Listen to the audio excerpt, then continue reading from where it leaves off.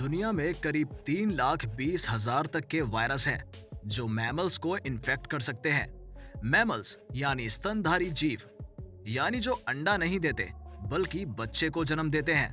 इनमें से सबसे खतरनाक वायरस हर साल दुनिया भर में लगभग डेढ़ करोड़ लोगों की जान ले लेता है। जानिए, कोरोना वायरस से पहले किन वायरसों ने मचाया आतंक? वायरसों की गिनती पृथ्वी के सबसे पुराने जीवों में होती है। ये हर जगह पाए जाते हैं। और जीवन के लिए खतरा बन सकते हैं। दुनिया में ऐसा कोई जीव नहीं है जिसे वायरस इन्फेक्ट नहीं करते हो। आइए देखते हैं दुनिया में अब तक के 10 सबसे खतरनाक वायरस कौन कौन से हैं। Rota virus. रोटा वायरस को चाइल्ड किलर वायरस भी बोला जाता है। ये करीब पाँच दुनिया भर में हर साल पाँच लाख बच्चों की जान लेता है। ये नवजात बच्चों और छह से आठ साल तक के बच्चों में घातक डायरिया फैलाता है। जिससे कई बार बच्चों की जान तक चली जाती है। चेचक, दूसरे किसी भी वायरस की तुलना में चेचक दुनिया के सबसे अधिक लोगों की जान 30 से 50 करोड़ मौत ले चुका है, क्योंकि इस वायरस का आरओ, यानी रिप्रोडक्शन नंबर 3.5 से 6 के बीच में होता है। यानी इस वायरस से संक्रमित एक व्यक्ति तीन से छह लोगों को संक्रमित कर सकता है। इसका फैटिलिटी रेट 90 प्रतिशत होता है। हालाँकि वैक्सीनेशन के ज़रिए इस वायरस को अब दुनिया से पूरी तरह खत्म कर दिया गया है। मीजल्स। मीजल्स को आम भाषा में खसरे का रोग कहा जाता है। पिछले डेढ़ सौ साल में ये करीब 20 करोड़ लोगों की जान ले चुका है। पुराने रिकॉर्ड्स के हिसाब से ये हर साल करीब दो लाख लोगों की जान ले लेता है। हालाँकि अब वैक्सीनेशन के ज़रिए इस वायरस को कंट्रोल कर लिया गया है। लेकिन खसरे के मामले में सबसे बुरी बात यह है कि इस वायरस से संक्रमित एक व्यक्ति 12 से 18 लोगों को संक्रमित कर सकता है। इबोला और मारबर्ग वायरस आज की दुनिया के सबसे खतरनाक वायरस में शामिल हैं, क्योंकि इनका अभी तक कोई पुख्ता इलाज या वैक्सीन इजाद नहीं किया जा सका है, जबकि इन वायरस का फैटिलिटी रेट 90 प्रतिशत तक है। इन दोनों वायरस के लक्षण लगभग एक जैसे होते हैं।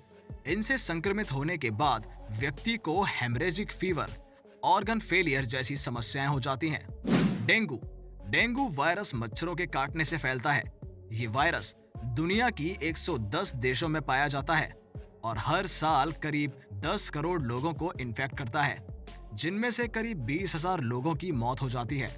जिन लोगों को ये वायरस दोबारा जकड़ लेता है, वे अक्सर गंभीर स्थिति में पहुँच जाते हैं। पीत ज्वर। जब किसी व्यक्ति में येलो फीवर की स्थिति बहुत अधिक गंभीर होती है तो उसकी नाक, आँख, मुँह और पेट से खून आने लगता है। इस स्थिति में पहुँचने वाले मरीजों में से करीब 50 प्रतिशत लोगों को 7 से 10 दिन के अंदर ही अपनी जान से हाथ धोना पड़ता है।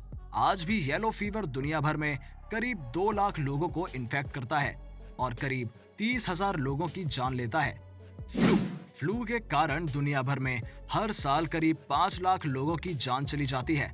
सबसे खतरनाक फ्लू पेंडेमिक पैंडमिक उस बीमारी को कहते हैं जो दुनिया के बड़े हिस्से को अपनी गिरफ्त में ले सकती है। पैंडमिक में स्पेनिश फ्लू से पाँच से दस करोड़ लोगों की जान ली। ये अब तक का सबसे खतरनाक फ्लू पैंडमिक माना जाता है। रेबीज रेबीज को पुराने वक्त से ही एक बहुत अधिक खतरनाक बीमारी माना जाता रहा है। रेबीज की बीमारी चमकादड़ या कुत्ते के काटने या नाखून गढ़ाने से भी हो सकती है। इस बीमारी से दुनिया भर में हर साल साठ हज़ार लोगों की मौत हो जाती है। इनमें से अधिकतर मौतें अफ्रीका और सदन एशिया में होती हैं। Hepatitis B eight C hepatitis B हर साल करीब सात लाख लोगों की जान ले लेती है। वर्तमान में ये सबसे खतरनाक बीमारियों में गिनी जाती है। ये लीवर पर सबसे पहले अटैक करती है, जिससे लीवर कैंसर या लीवर डैमेज हो जाता है। इस बीमारी में होने वाला लीवर डैमेज परमानेंट होता है, जिसे इलाज से ठीक नहीं किया जा सकता। हेपेटाइटिस सी से दुनिया में हर साल करीब साढ़े तीन लाख लोगों की डेथ हो जाती है। एचआईवी, एड्स एक्सपर्ट्स के अनुसार वर्तमान समय में दुनिया भर में करीब चार करोड़ लोग एचआईवी वायरस से पीड़ित हैं। एक अनुमान के मुताबिक पिछले 30 साल से हर साल करीब 20 लाख लोग इस बीमारी के कारण अपनी जान से हाथ धो बैठते हैं। अब तक करीब ढाई करोड़ लोग इस बीमारी के कारण मर चुके हैं। उम्मीद है आपको ये वीडियो पसंद आया होगा।